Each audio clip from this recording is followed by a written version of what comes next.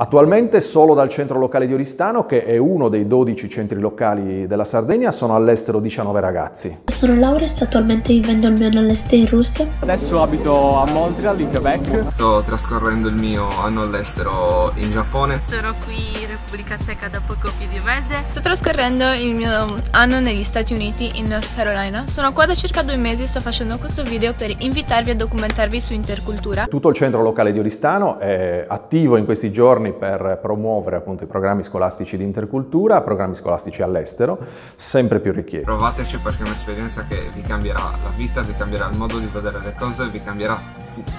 31 Open Day, eh, una formula diversa, siamo ospiti del liceo classico eh, il 31 ottobre appunto dalle 15.30 in poi con dei banchetti dedicati alle varie tematiche dei programmi all'estero e degli spazi più ampi per incontrare eh, le famiglie.